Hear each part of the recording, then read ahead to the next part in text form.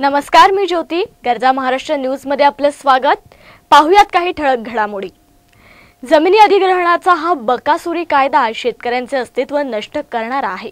शेतकरी आमचे मायबाप आहेत आणि त्यांना आम्ही देशोधडीस लावून सत्तेच्या तुंबड्या भरण्याचे पाप आम्ही करणार नाही. मग काय व्हायचं ते होऊ द्या अशा शब्दात शिवसेनेने आपली भूमिका स्पष्ट केली आहे केंद्रातील नरेंद्र मोदी यांच्या नेतृत्वाखाली भूसंपादन अध्यादेश विधेयक लोकसभेत सादर केले आहे. या विधेयकाला सर्व विरोधी पक्षांकडून विरोध करण्यात येतोय. सहकारी शिवसेना पक्षाने देखील या विधेयकाला विरोध केलाय. सामन्याच्या अग्रलेखातून शिवसेनेनं म्हटलं आहे की देशभरातील हजारो शेतकरी भयभीत होऊन दिल्लीत जमलेत. कष्टकऱ्याला आणि शेतकऱ्याला जात धर्म आणि प्रांत नसतो.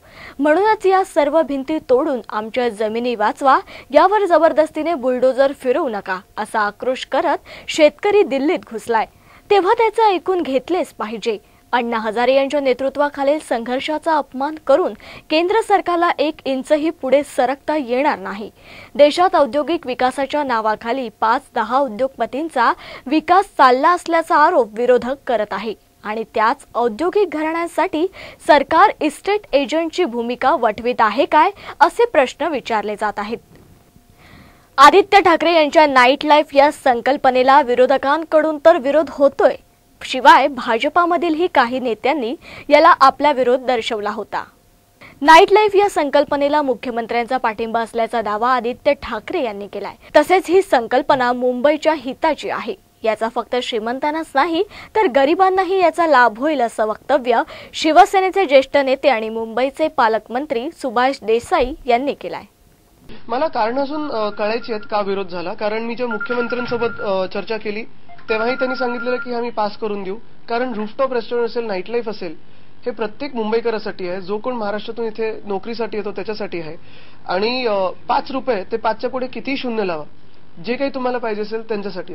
उलट रूफटॉप रेस्टॉरंट आत्ताही चालू आहेत मुंबईत. त्यांना जर लिगलाइज केलं तर तिथे नोकऱ्या वाढतील रोजगार वाढेल आणि धंदा वाढेल. त्याच्यातून सरकारलाही रेव्हेन्यू चांगले हे मला माहीत नाही. त्यांच्यात त्यांच्यात काही भांडण असतील अंतर्गत वाद असतील तर मला माहीत नाही. पण मुख्यमंत्र्यांनी तर मला सांगितलेलं आहे पाठिंबा आहे.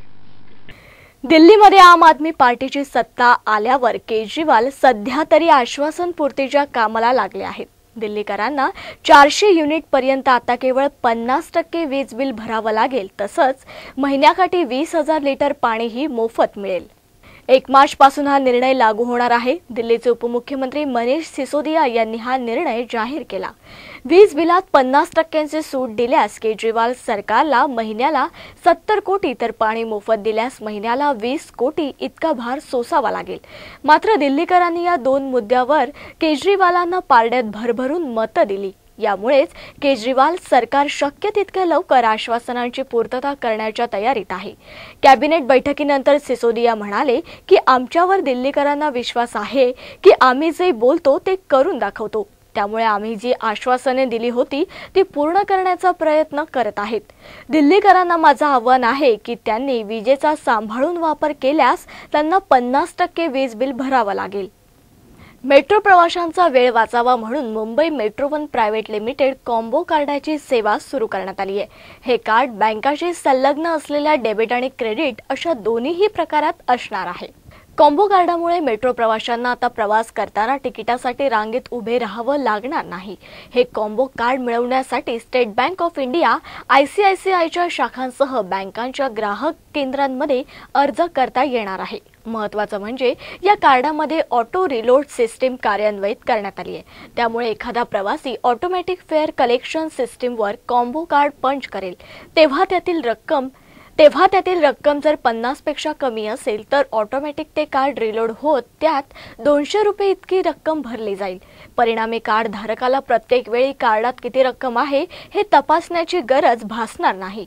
मेट्रोच्या बारा स्थानकावरील ऑटोमॅटिक फेअर कलेक्शन सिस्टीमवर प्रवाशांना ही कार्ड वापरता येणार असून मात्र त्याचा वापर करताना प्रवाशांचे बँकेत खाते असणं अनिवार्य असणार आहे.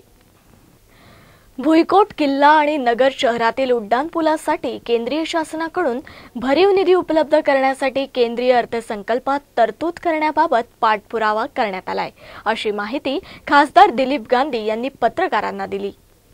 केंद्राचे अर्थसंकल्पीय अधिवेशन सोमवारपासून सुरू झाले या पार्श्वभूमीवर केंद्रीय अर्थसंकल्पात जिल्ह्यातील प्रलंबित प्रश्नांसाठी तरतूद करण्याबाबत पाठपुरावा करण्यात आलाय. याची माहिती खासदार गांधी यांनी सोमवारी दिली. ते म्हणाले की नगरच्या किल्ला सुशोभीकरणासाठी जिल्हाधिकारी आणि स्थानिक संरक्षण खात्याचे अधिकारी यांच्यात मागच्या आठवड्यात बैठक झाली. यामध्ये किल्ला सुशोभीकरणासाठी संरक्षण खाते आणि राज्य शासन यांच्यात करारनामा करण्याचा प्रस्ताव राज्य शासनामार्फत केंद्राकडे अंतिम मंजुरीसाठी सादर करण्यात आलाय. माळढोक अभयारण्याचे कर्जत तालुक्यातील आरक्षण उठवण्याचा स्वतंत्र प्रस्ताव दिला आहे. पाणी पुरवठा योजनांचे वीज बिल माफ करणे पंतप्रधान ग्रामसडक योजना सिंचन साठा बंधारे पंडित दीनदयाळ उपाध्याय ग्रामज्योत योजना आदींबाबत तरतूद करावी अशी मागणी करण्यात आली आहे. जिल्ह्यातील प्रलंबित एकोणतीस प्रश्नांसाठी केंद्र शासनाने निधी उपलब्ध करून देण्याबाबतचा प्रस्ताव केंद्राकडे दिलेला आहे. त्याचप्रमाणे नगरचा किल्ला हा संरक्षण खात्याबरोबर या महिन्याभरामध्ये त्यांच्याशी आता ॲग्रीमेंट होणार आहे. त्याच्यावर त्या ॲग्रीमेंटसाठी स्वतः मुख्यमंत्र्यांना लक्ष घातलं आहे आणि आपल्या संरक्षण मंत्र्यानं सुद्धा याच्यात लक्ष घातलेलं असल्यामुळे. त्या माध्यमातनं हा किल्ला नगरचं पर्यटनाच्या दृष्टीनं एक चांगलं केंद्र व्हावं. दोन हजार सोळामध्ये जो कुंभमेळा होतो आहे त्या कुंभमेळ्याच्या दृष्टिकोनातनं नगरमध्ये येणाऱ्या पर्यटकाला थांबण्याला एक चांगली संधी मिळावी आणि एक चांगलं वातावरण आपल्या नगर जिल्ह्याचं व्हावं. श- नाशिकला आलेला मनुष्य शिर्डीला येणार शनी शिंगणापूरला येणार तोच नगरला पण यावा मडीला जावा तो मोठा देवीला जावा भगवानगडावर जावा तो अशा वेगवेगळ्या माध्यमातून चांगल्या पद्धतीनं पर्यटन वाढेल या दृष्टीने माझा प्रयत्नाचा पराकाष्ठा करणार आहे. जामखेड ग्रामपंचायतीचे नगर परिषदेत रूपांतरण करावे या मागणीसाठी ग्रामपंचायत कर्मचारी संघटनेच्या वतीने जिल्हाधिकाऱ्यांना निवेदन देण्यात आले. जामखेडमध्ये ग्रामपंचायत असल्याने शहरामध्ये विकास कामे झालेली नाहीत. त्यामुळे शहराचा विकास खुटला आहे. दहा फेब्रुवारी दोन हजार चौदा रोजी नगर परिषदेबाबतची उद्घोषणा झाली होती. तसेच जनगणनेनुसार नगर परिषदेला आवश्यक लोकसंख्या असून अजूनही याबाबत कुठलीही कार्यवाही झालेली नाही.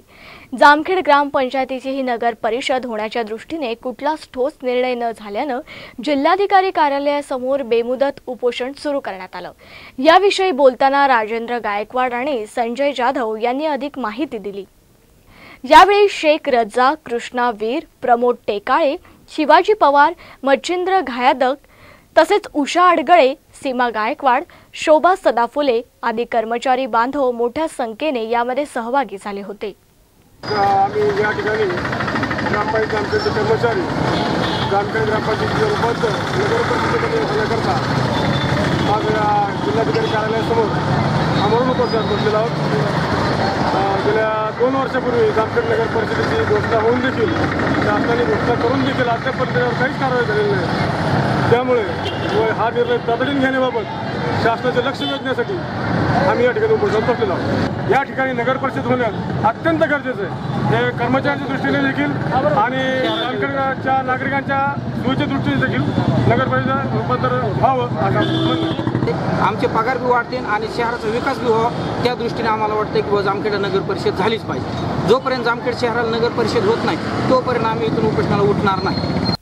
बुलेटिनमध्ये इतकंच. तुम्ही पाहत राहा फक्त गरजा. महाराष्ट्र न्यूज सदैव आपल्यासोबत.